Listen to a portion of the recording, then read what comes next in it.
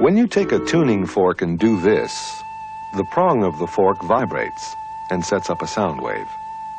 And when this sound wave hits your eardrum, you can hear the note that is being played by the tuning fork. Now, it's easy enough to understand how tuning forks make sounds because you can see the vibrations. But how do computers make sounds? They don't vibrate, do they? No, but they can make other things vibrate. Every time a computer circuit switches on or off, there is a tiny increase or decrease in electric current.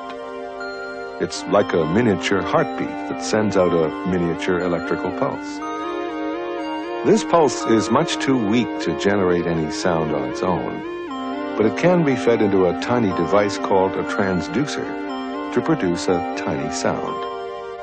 But if we want a louder sound, we must first make the pulse larger. We must amplify it.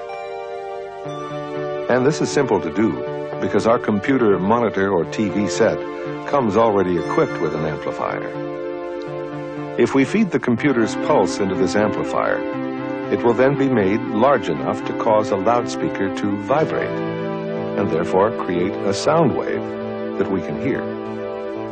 So, provided that your computer is hooked into an amplifier and a loudspeaker, simply by turning a circuit on or off, you will be able to make a blip sound.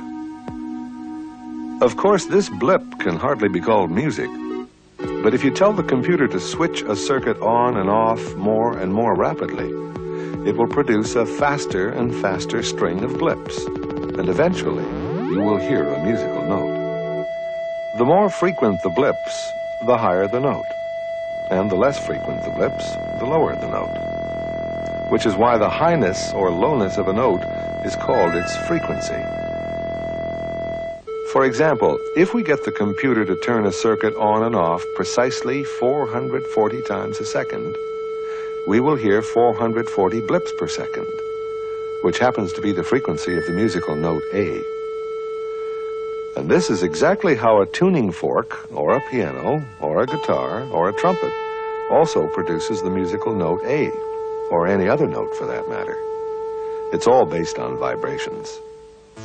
So your computer can not only give you good words, and good numbers, and good pictures, it can also give you good vibrations.